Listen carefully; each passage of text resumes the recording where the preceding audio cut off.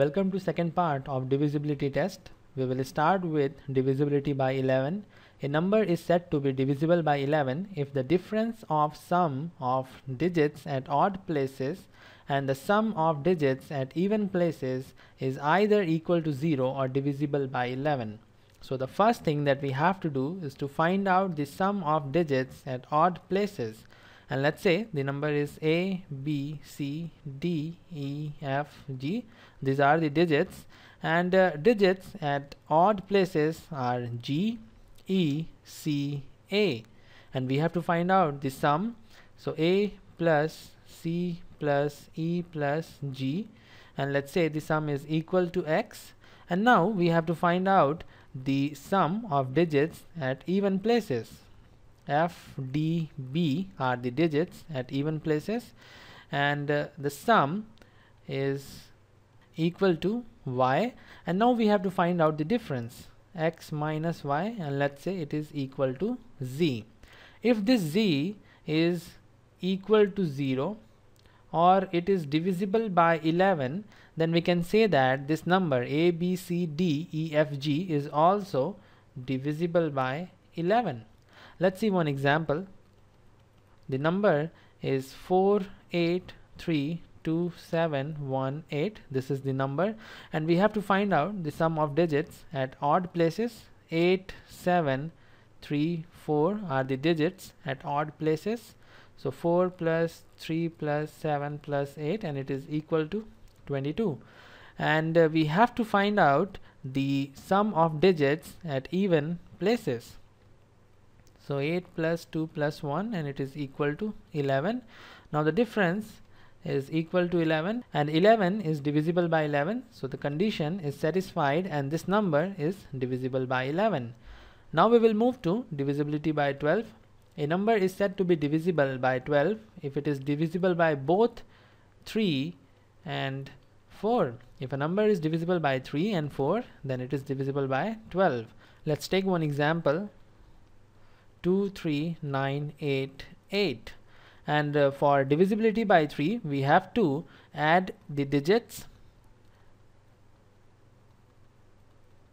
And this is equal to 3030 and 30 is divisible by 3 so we can say that this number is divisible by 3 and for divisibility by 4 we have to consider the last two digits. The last two digits are 88 and 88 is divisible by 4 so we can say that this number is also divisible by 4 as you can see this number is divisible by both 3 and 4 we can say that it is divisible by 12 as well.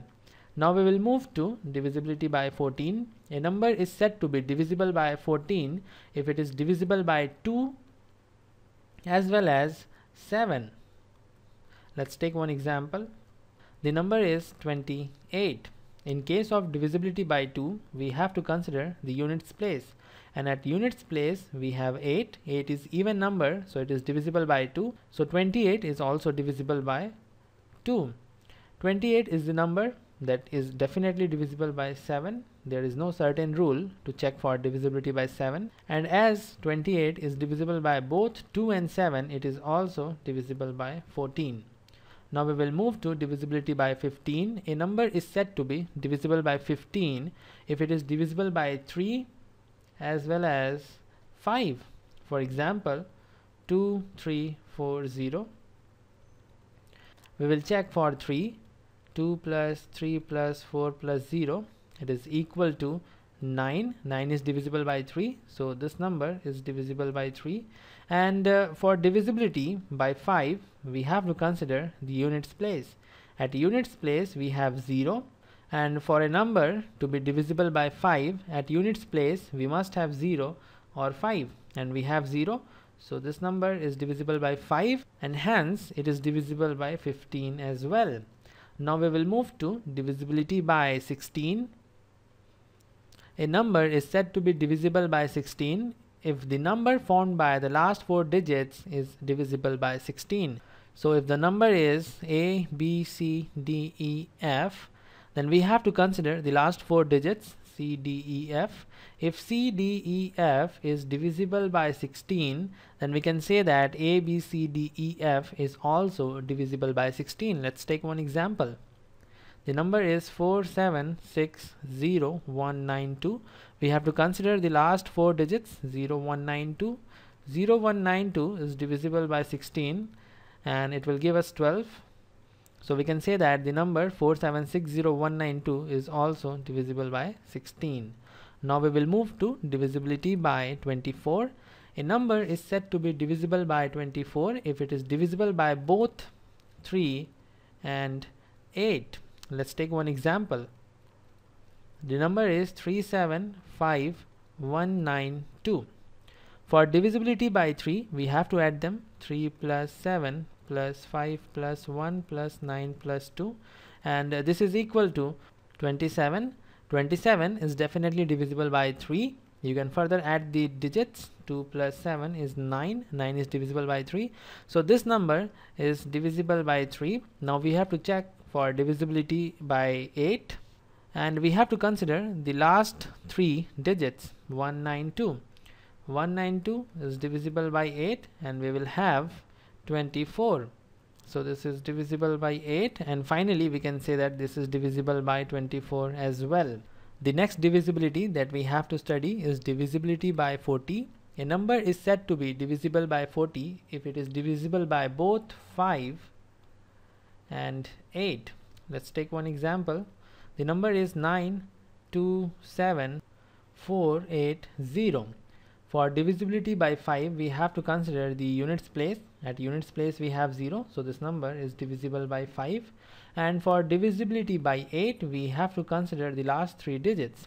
480 480 is divisible by 8 we have 6060 so this number is also divisible by 8 and now we can say it is divisible by 4040 the last one is divisibility by 80. A number is said to be divisible by 80 if it is divisible by both 5 and 16. Let's take one example.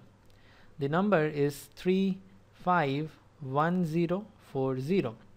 For divisibility by 5, we have to consider the units place. We have 0 at units place, so it is divisible by 5.